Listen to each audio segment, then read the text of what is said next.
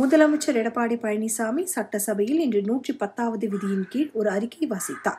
அதில் அவர் கூறியிருப்பதாவது விவசாயிகளுக்கு துயர் ஏற்படும் போதெல்லாம் அம்மா அரசு உதவிக்கரம் நீட்டி அவர்களை காப்பதில் முன்னணியில் இருந்து வருகின்றது.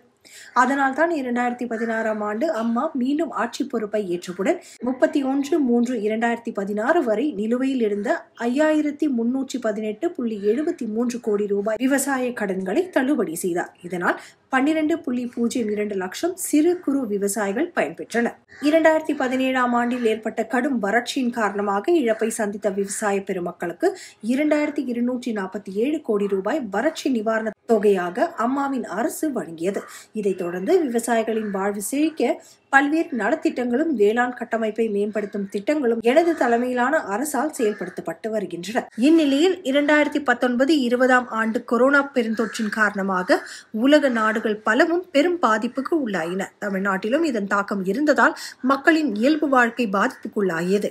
இந்நிலையில் விவசாயமும் பாதிப்புக்குள்ளாகியதுடன் தொடர்ந்து ஏற்பட்ட நிவர் புரவி போன்ற புயல்களும் அதைத் தொடர்ந்து சென்ற மாதம் பருவம் தவறி பெய்த கடும் மழையும் பெருத்த பயிர் சேதத்தை ஏற்படுத்தியதால் கடன் பெற்று பயிர் சாகுபடி செய்த விவசாயிகள் பெரும் அல்லலுக்கு உள்ளாகினர். இந்த பேரிடர் அறுவடைகளுக்கு தயாராக இருந்த நெல் கரும்பு வாழை தோட்ட பயிர்களை மட்டுமல்லாது மானாவாரி பயிர்களையும் பெருமளவில் சேதப்படுத்தியது. வேளாண் பெருமக்களின் நலனில் என்றும் அக்கறை கொண்டுள்ள எனது தலைமையிலான அம்மாவின் அரசு மத்திய அரசின் நிதி விடுப்பையும் எதிர்பாராமல் சாகுபடி செய்த பயிர்களுக்கான இடுபொருள் உதவித்தொகை ஆயிரத்தி எழுநூற்றி பதினேழு கோடி ரூபாயை பதினாறு புள்ளி நாற்பத்தி மூன்று லட்சம் விவசாயிகளுக்கு உடனடியாக வழங்க உத்தரவிட்டு அந்த தொகையையும் நேரடியாக விவசாயிகளின் வங்கிக் கணக்கில் வரவு வைக்கப்பட்டு வருகிறது. இந்த இடுபொருள் உதவித் தொகையானது விவசாயிகளின் துயரை துடைத்தாலும் அவர்கள் மீண்டும் பயிர் தொழிலை தொடர உதவ வேண்டும் என்று அம்மாவின் அரசு எண்ணியது.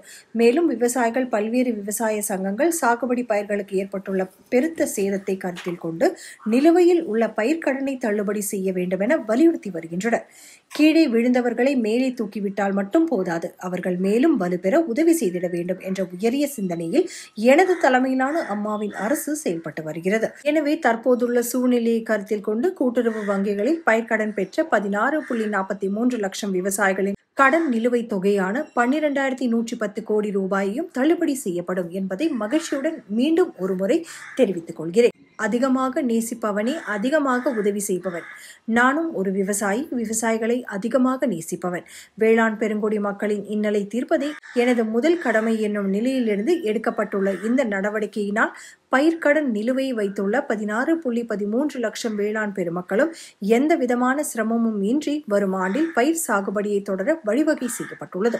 இரண்டாயிரத்தி ஆறாம் ஆண்டு நடந்த சட்டமன்ற பொதுத் தேர்தலின் போது நிலமற்ற விவசாயிகளுக்கு இரண்டு ஏக்கர் நிலம் அளிப்பதாக திமுகவினர் வாக்குறுதி அளித்தனர்.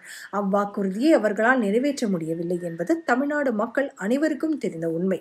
அதேபோன்று இரண்டாயிரத்தி பத்தொன்பதாம் ஆண்டு நடைபெற்ற பாராளுமன்ற பொதுத் தேர்தலின் போது நாங்கள் வெற்றி பெற்று வந்தவுடன் விவசாயிகள் கூட்டுறவு சங்கங்களில் வாங்கிய பயிர்க்கடன்கள் தள்ளுபடி செய்யப்படும் என்று எதிர்க்கட்சி தலைவர் வாக்குறுதி அளித்தார். பாராளுமன்ற தேர்தலில் அவரது கட்சியினர் முப்பத்தி எட்டு இடங்களில் கூட்டணியை சேர்ந்தவர்கள் வெற்றி பெற்றனர். வெற்றி பெற்றவுடன் மக்களுக்கு அளித்த வாக்குறுதியை மறந்தார்கள். இதுதான் அவர்கள் ஒவ்வொரு தேர்தலின் போதும் கடைபிடிக்கும் வாடிக்கை. தேர்தலின் போது அளிக்கப்படும் வாக்குறுதியை நிறைவேற்றும் ஒரே அரசு அதிமுக அரசுதான் என்பதை தமிழக மக்கள் நன்கு அறிவார்கள். இவ்வாறு அவர் கூறினார்.